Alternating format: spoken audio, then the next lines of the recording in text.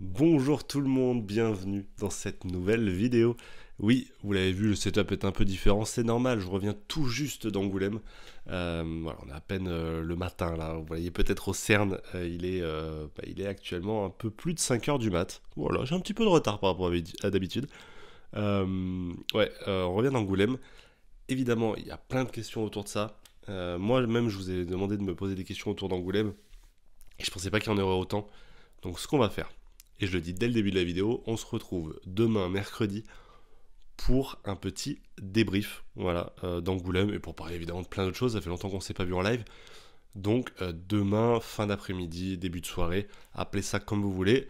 Je pense qu'on se fera un petit 18-19h, euh, un truc comme ça. Donc voilà. N'hésitez pas à passer sur la chaîne, on va parler de plein de choses. Ça va être très très cool. Mais au programme de cette vidéo, on a évidemment un bouquin dont on doit parler. Hein, C'était le tirage de la dernière palouette. Et puis tirer notre prochain bouquin que je vais embarquer euh, dans mon petit baluchon avant de partir au travail là dans quelques minutes. Évidemment, on va pas notamment tout euh, occulter de, ce qui s'est passé euh, à Angoulême, puisque notamment au niveau achat, ça va se retrouver dans la pale roulette. Vous l'entendez, je suis également assez enrhumé. J'espère que ce sera pas trop désagréable pour vous. Sinon, je m'en excuse, je me soigne au café. Et ça, ça marche plutôt pas mal. Qu'est-ce que j'ai acheté à Angoulême? Écoutez, j'ai été extrêmement calme. En fait, ça a été surtout l'occasion de rencontrer des gens et très peu d'acheter. Parce que, bon, bah, déjà, ça coûtait déjà assez cher d'y aller en traversant toute la France. Mais, euh, ouais, au-delà de ça, c'était vraiment rencontrer des gens, des petits éditeurs et euh, prendre des petites notes sur les prochains achats et des choses à vous faire découvrir. Mais là, euh, le craquage, moi, il a été sur le Demon Wars, donc le deuxième tome de ce Demon Days Demon Wars euh, de Peach Momoko. Donc cette revisite un peu de certains événements Marvel, euh, dont là ici Civil War, dans un univers japonais. Ça, ça va me plaire, je pense, évidemment. Je vous montrerai demain, mais ça a été peut-être dédicacé par Peach Momoko. Voilà, on pourra en parler.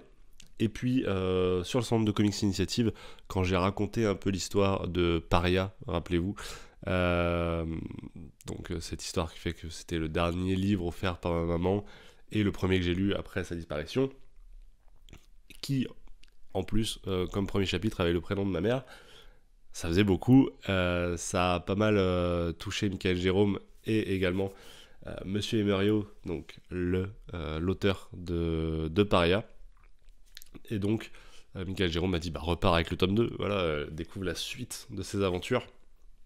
Donc écoutez, euh, voilà, je repars avec un, petit service presse dont, je vous parlerai dans une prochaine vidéo dès que la pâle roulette l'aura décidé. Rappelez-vous, la dernière fois, ça fait maintenant un petit moment quand même, hein, on a tiré au sort une histoire. Voilà. Que j'avais dans la pile à lire depuis pas mal de temps. C'est cette histoire-là. Voilà. C'est Marvels de Kurt Busiek et Alex Ross au dessin. Euh, Marvels, qu'est-ce que c'est? C'est tout simplement... Euh, bah, euh, Marvels vient nous plaquer au sol, un petit peu. Elle vient nous raconter l'histoire de ces super-héros, hein, de 40 ans de super-héroïsme, éditorialement parlant, mais du point de vue bah, du sol, tout simplement, des humains. là, en l'occurrence, on va surtout suivre un reporter qui s'appelle Phil, il me semble, euh, voilà, c'est surtout via ses yeux qu'on va, qu'on va découvrir ça. Et euh, où, son œil, pour ceux qui l'ont lu, ils comprendront peut-être. Donc on va suivre ces aventures-là, voilà, via 40 ans d'histoire. Quel est mon avis sur Marvels? On va, comme on l'avait fait pour Kingdom Come, évidemment parler des dessins directement. À la différence de Kingdom Come, que j'avais lu en Urmad Nomade, là, je lis en grand format. Et c'est peut-être ça qui a encore plus marché, parce que c'était vraiment incroyable. J'ai vraiment du mal à parler en même temps que je, respire, je suis enrhumé. Euh, donc ça fracasse, ça fracasse. Alex Ross c'est juste trop beau, je vous mettrai évidemment des planches comme la dernière fois. C'est beaucoup trop beau. Euh, j'ai eu l'occasion de parler avec des gens qui m'ont dit qu'ils trouvaient euh, les dessins d'Alex Ross un peu trop stoïques, que, ça n'allait pas dans des intérieurs. C'était très bon cover, mais dans l'intérieur, pas tant que ça. Et en fait, je suis pas trop d'accord avec ça mais je crois que j'ai pas consommé le bouquin euh, comme des dessins habituels de, de comics. Pas tant comme de l'illustration, euh, tu vois, avec du mouvement, etc. mais un peu comme si j'allais dans un musée qui avait des fresques avec une description, tu vois. C'est-à-dire que tu, tu contemples la fresque, qui est stoïque, et tu t'imagines le mouvement, tu t'imagines tout ça, tu t'imagines l'histoire qu'il y a autour. Et, euh, et, finalement, tu composes après avec le texte, et, finalement, ton imagination est beaucoup plus sollicitée qu'avec d'autres dessins. Et je crois que ça, ça marche encore plus sur moi. Donc, euh, bah écoutez, moi, je, pouvais, je pouvais qu'adorer ça, donc euh, ouais, ouais, ouais, ça a bien, bien marché sur moi. Au niveau du scénario, eh ben là aussi, j'ai vraiment adoré. il m'a fallu quasiment l'intégralité de la première partie pour vraiment rentrer dedans. En plus, on a un prélude euh, sur euh, la torche. Pas nécessaire.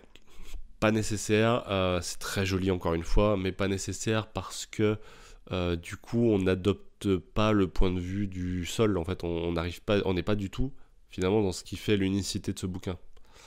Et c'est un peu dommage. Voilà. Donc du coup, ça m'a fait que j'ai je suis rentré un peu tardivement dedans.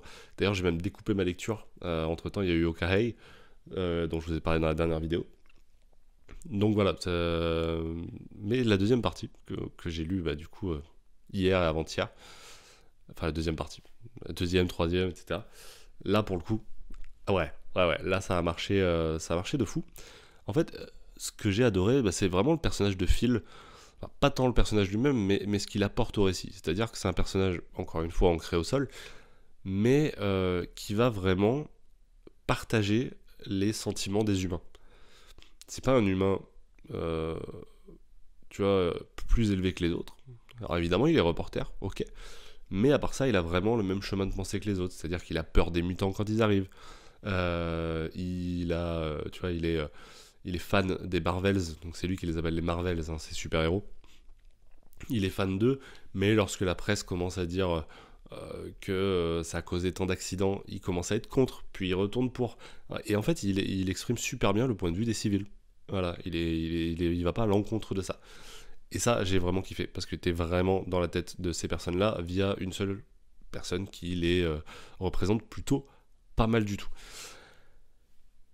Peut-être, s'il y a un point regrettable, je devrais en noter un quand même, c'est que j'aurais aimé une petite entrevue entre Phil et un super-héros ça va à l'encontre de ce que je dis hein, sur ce fait qu'il euh, représente le point de vue des civils, puisque tous les civils ne vont pas à la rencontre de ces, Marvels. Mais j'aurais aimé que ça rajoute un peu de profondeur, parce que oui, on est spectateur des histoires Marvel qui se, qui se passent, mais peut-être un peu trop.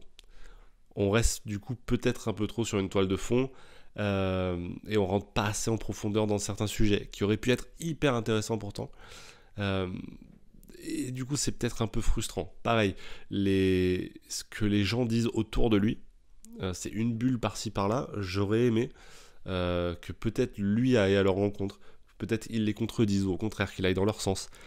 Euh, et c'est plus vu comme des petits clins d'œil, tu vois. On te parle du mariage des, des fantastiques, donc de, de Sue et Reed, et et t'as quelqu'un dans, dans, le, dans le public qui fait apparemment elle est mort tu vois, trois petits points.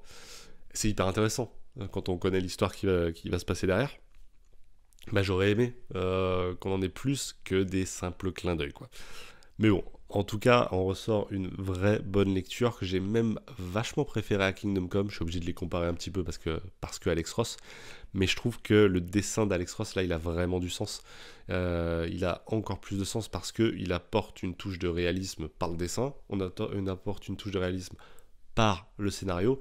Et en fait, bah, tu crois quasiment à cette histoire de super-héros. Tu crois quasiment aux super-héros qui en plus ont tous euh, des, tenues, tu vois, à l'époque, euh, qui sont euh, à peu près réalistes, entre guillemets, tu vois, qui sont en lycra, etc. bref, il y avait vraiment un, truc où, tu as envie d'y croire. Tu as envie de croire à ce petit conte-là. Et du coup, ça a vachement bien marché sur moi. Est-ce que la prochaine lecture marchera tout autant? C'est ce qu'on va découvrir maintenant dans la pâle roulette. Le temps de setup, ça vous avez l'habitude. On se retrouve tout de suite.